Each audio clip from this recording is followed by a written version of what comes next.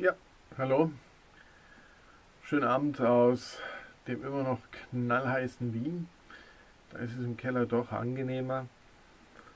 Ähm, ja, jetzt bin ich da mal wieder für, für ein paar Wochen in, in Deutschland. Das heißt, ähm, auch gute Gelegenheit, am Abend vorher nochmal einen grünen Veltliner zu probieren. Ähm, obwohl ich letztens gesehen habe, es wird mittlerweile sogar teilweise in Franken angebaut. Da habe ich die ersten grünen Veltliner gesehen. Ähm, ist also die Rebsorte, die, die momentan sehr stark in, in Mode gekommen ist. Jetzt nicht nur, dass man äh, in, in den Großstädten in Deutschland viel grünen Veltliner auf einmal trinkt, auch in, in den USA wird er langsam in. In Neuseeland wird grüner Veltliner angebaut. Bin gespannt, wann da die ersten kommen. Äh, wir sind heute, oder heute bin ich ja allein. Also ich bin heute eher mal ganz klassisch. Kamptal. Kamptal sagt äh, Österreich-Experten natürlich sofort eins. Kamptal kommt Bründelmeier her. Jetzt, da ist nicht, aber nicht nur Bründelmeier allein. Es gibt da auch ein äh, oder mehrere sehr interessante andere Weingüter. Eins davon ist das Weingut Jurcic. Ähm, seit 2008 hat es da einen Generationswechsel gegeben. Äh, Alvin und Stefanie Jurcic haben übernommen. Und äh, da sind gleich einige Grundsatzentscheidungen gefallen. Man hat umgestellt auf biologisch. Das, ich glaube, das wird immer noch unterschätzt. Ja. Ähm, es wird immer gesagt, ja, macht keinen großen Unterschied und so weiter. Mittlerweile glaube ich das nicht mehr so. Ja. Und äh, man verwendet als, als Dünger normalen Kuhmist. Und äh, es gibt auch solche Dinge wie Bodenbegrünung, spielt eine ganz große Rolle. Man setzt bewusst rein auch andere Pflanzen, also Weinbergspfirsich. Ich habe auch mal gehört, Weinbergsknoblauch, habe ich aber noch nicht gegessen. Und man hat sich damals entschieden, auch die, die Flächen zu verkleinern, einfach um äh, hier dem, dem Boden mehr Aufmerksamkeit und dem Wein mehr Aufmerksamkeit geben zu können. Ist trotzdem immer noch kein Mini-Weingut. Hat äh, 62 Hektar. Ich meine, das, das wäre in, in Franken eigentlich schon ziemlich großer Betrieb. Ja. Äh, ich habe jetzt ausgesucht für heute. Ich habe den noch nicht probiert. 2012er Läuserberg, Grüner Veltliner, Kammtal Reserve, Weingut Jurcic. Ähm, ja.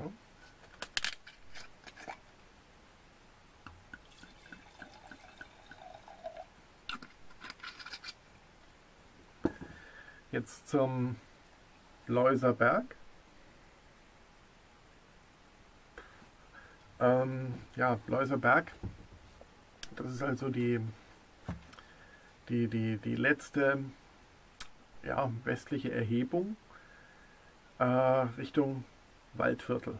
Jetzt, wer schon mal in Österreich war und das Waldviertel kennt, das Waldviertel ist arschkalt. Ja. Das heißt, da geht es auch recht windig zu, äh, ist alles Richtung tschechische Grenze. Und das Interessante ist, wenn man sich aber den, äh, den Läuserberg anschaut, da hat man also Terrassen Anbauweise und äh, eigentlich schon fast ähm, mediterranes Klima. Ja, also es ist relativ heiß. Es kommen aber diese kalten Winde.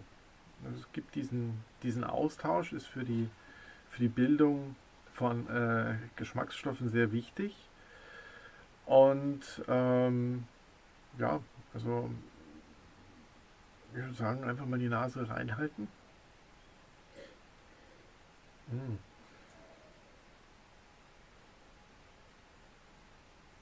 Mm.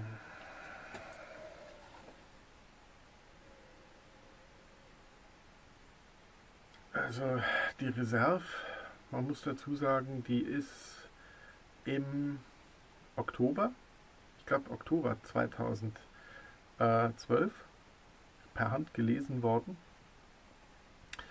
und hat dann äh, die Maischestandzeit bei dem Wein waren sechs bis acht Stunden. Das ist eigentlich schon sehr enorm. Äh, es gibt keine künstlichen Hefe Aromahefen, ähm, sondern es sind alles traubeneigene Hefen. Die, die Vergärung wird auch im großen Holzfass gemacht.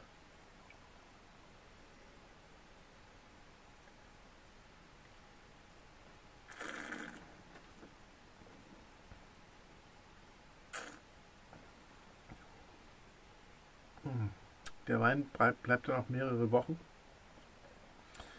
Wird auf der Feinhefe gelagert. Und der hier ist jetzt, glaube ich, im August 2013 erst auf die Flasche gekommen.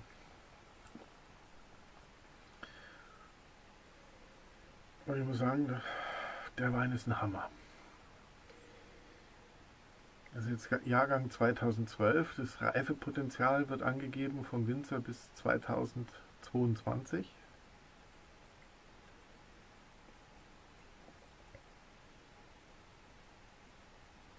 Und das sind nicht nur diese typischen gelben Früchte ja, beim Weltliner. Da kommt unheimlich viel Exotik dazu und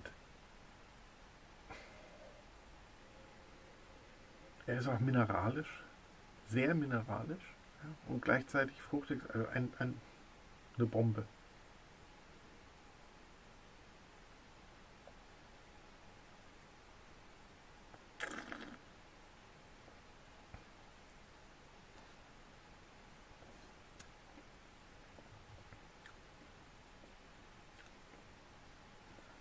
Läuft da runter wie Öl. Ja, äh, Wahnsinn, ganz weich. Ist nicht kantig oder so, ist richtig schön, schön eingebundene Säure.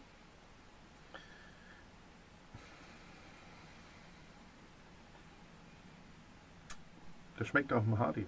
Ja. Also ist für mich ein ganz großartiger Wein jetzt schon. Ist bestimmt in, in zwei Jahren noch besser, aber er ist jetzt schon ach, sehr cremig. Ja, da ist auch Cremigkeit da.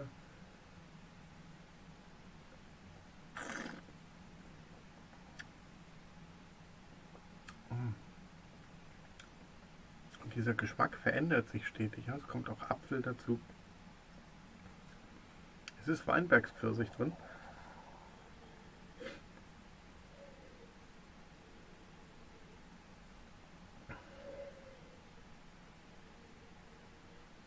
Bisschen, bisschen Quitte, glaube ich. Toll. Also, das ist jetzt mal wirklich ganz großes Kino aus Österreich. Kostet irgendwas so zwischen 17 und 20, glaube ich. Je nach Händler. Bepunktelung. Das, das ist ein Wein, 44. 44 hat er auf jeden Fall.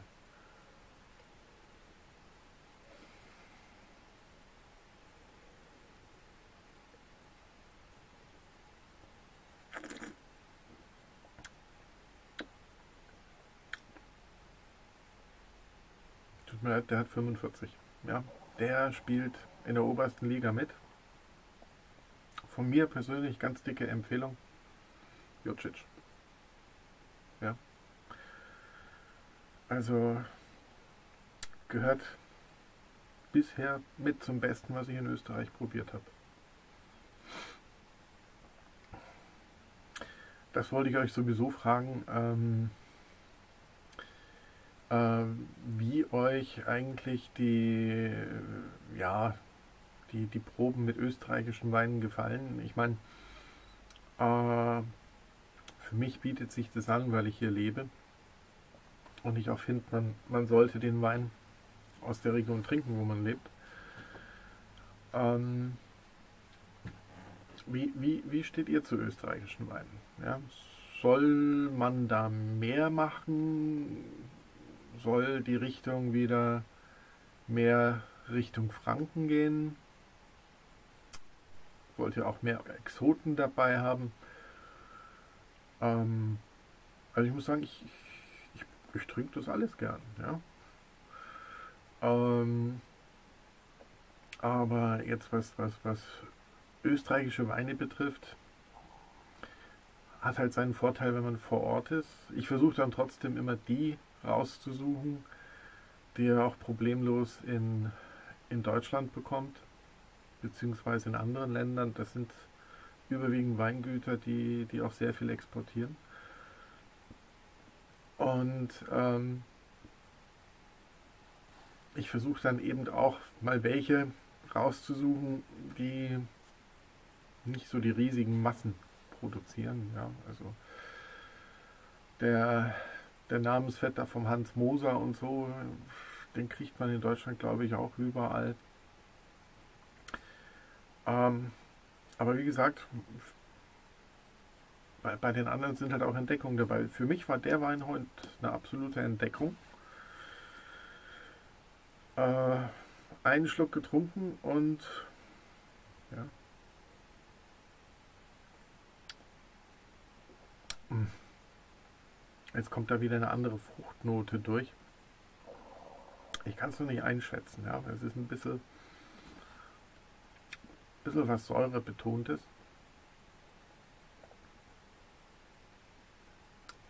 Ich werde noch ein, zwei Gläschen trinken. Ich wünsche noch einen schönen Abend. Servus, Baba.